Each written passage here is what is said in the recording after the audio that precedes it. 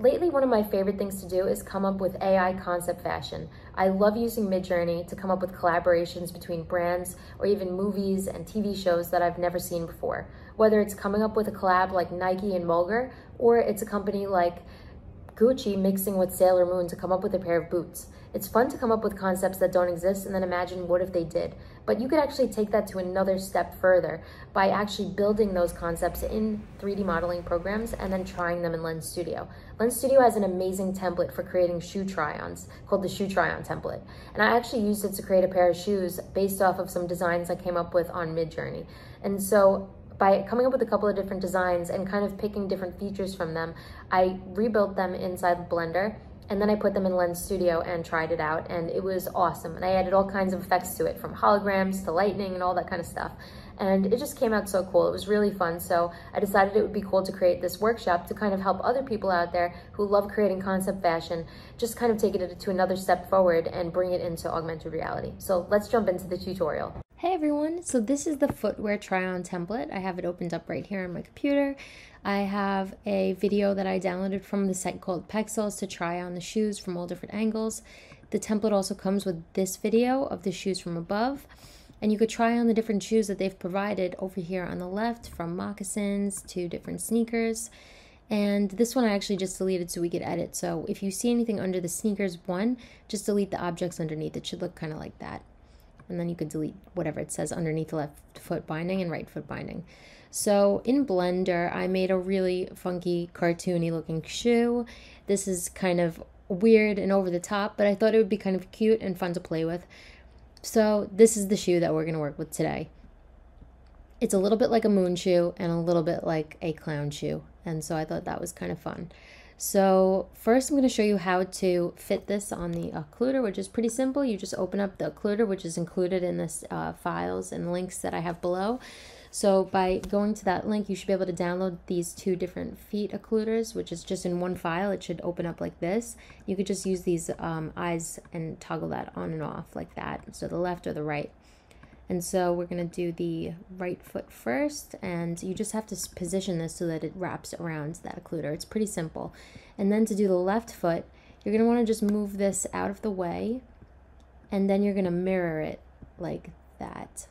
And we're going to mirror it to the left foot. And so now we have basically just two feet. And so what we're going to do is I'm going to apply this, and then I'm going to move this over here and just position it just like the other one make sure it's balanced right above. And then I need to delete this other shoe. So what I'm going to do to do that is go into edit mode and then I'm going to mesh hit mesh and then separate by loose parts. And then going back here I'm going to go into object mode and just delete each of these objects. Okay so now that those are deleted I can now keep these separated because I want to have this all be separate materials except these I'm going to link up by selecting them all and joining them. And then I'm going to link this up with all the other little things like that and that's going to become one object itself. So now we should have this which I'm going to merge into one object. This is separate on its own this is separate and these are separate. We could call this ties and this can be called buckles. This could be the fluff because we're gonna make that fluffy and this can be the base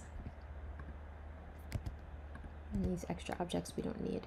I can delete the camera, I can delete the light, delete the, the occluder, and now I'm good with this. So I'm just going to export this. So you're going to want to export it as an FBX file. Now in Lens Studio, I'm going to load both of my shoes under these two squares right here under sneakers one. Okay, so now I'm going to take my left shoe and put it under the left foot binding and click import. And now I'm going to take my right foot binding and I'm going to take the right shoe and I'm going to put that under right foot binding. Okay, so now what we're going to do is we're going to name these different, I mean, we're going to give these each a different material. So we're going to do is go to the base and we're going to go into the asset library and I'm just going to grab, we could play with a couple of different materials. Like, um, I think in the materials we have a nice fur and we should also have a cartoon material we could also play with the glass material or even I like to use the crystal material let's see, what else do we have here that's kind of cool? We could do the toon material, just see how it looks. So now I'm gonna go to the base and select them both. And with them both selected, I go to material over here and I'm just gonna select toon and see what happens. So we got this really cute toon material. And now for the laces, I'm gonna do another toon material. Just duplicate that one. And laces, I'll select them both. I named them two different names, sorry if that's confusing. And now we have that selected. And now for the fluff, we're gonna use that fur material. Okay, it's a little funny. So we're just gonna select that and we're gonna make the size of the length a little bit shorter. So going to hair length, I'm going to make that 0.1. Maybe make it 0.3. You could test out a couple different things and see what you like. I do usually double-sided. And then I'm just going to make this like, um, like a hot pink.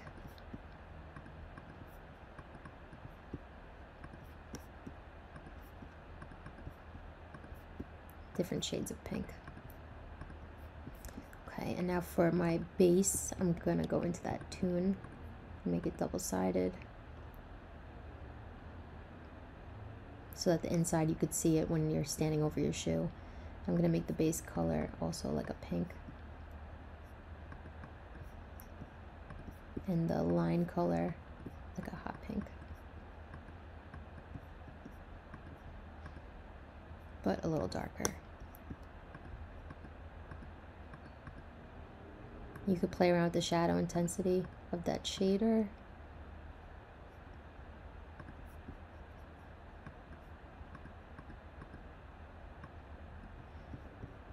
And now we can go to our laces and we could change this as well. Maybe make these like white or something. Let's see what that looks like. Like a baby pink.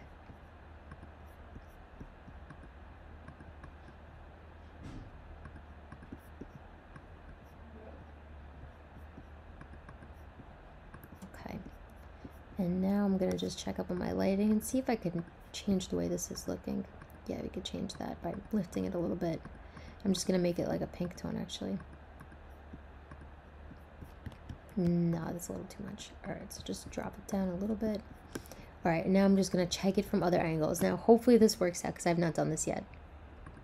Ooh, look at these. Okay, so now I see my occluder. I have to change to an occluder material. So I'm just going to click on that occluder and I'm going to go to click that default material and I'm going to click this plus at the top and click occluder. And I actually think that it's, I don't need this occluder so I could actually just turn that off.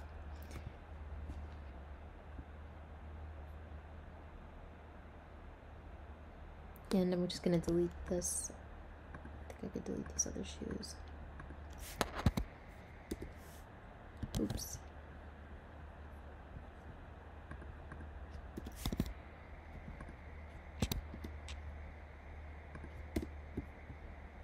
Okay, so there's our cartoon moccasin shoes types of things. I don't know what these are called, but cartoon moon boots, kind of like our own funky kind of shoe.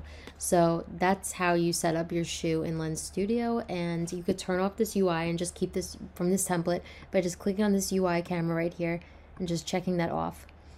And so that's my shoe template. Um, let's see, we can even, let's see, the fluff is a little too much. So maybe if I want to take that fluff away and give it another cartoon material, you could just select both the different fluffs from both shoes and then click there and select the toon and now it's just the same kind of cartoon material. You try even the other one and you could play around with it that way. So I just thought that was kind of fun. Um, I really like this template. It's really easy to use. That's just the simple way to do it. Um, I, I think it's probably one of the easiest templates to work with because it's already preset where all you have to do is just wrap your shoe in your 3D modeling program around this occluder and you'll have the shoe fit perfectly inside Lens Studio. So it's really easy to use and you could use the segmentation that they have right here. It's like a custom garment segmentation so that it hides the foot really well and also makes the foot underneath the shoe invisible so that that way your shoe looks really nice especially for client projects or even for creating your recreating your own projects if you have a shoe company you can give it another level of realism by using the clothing layer like this over the shoe and also making the foot invisible. So these are really great features. Um, yeah, so that's it.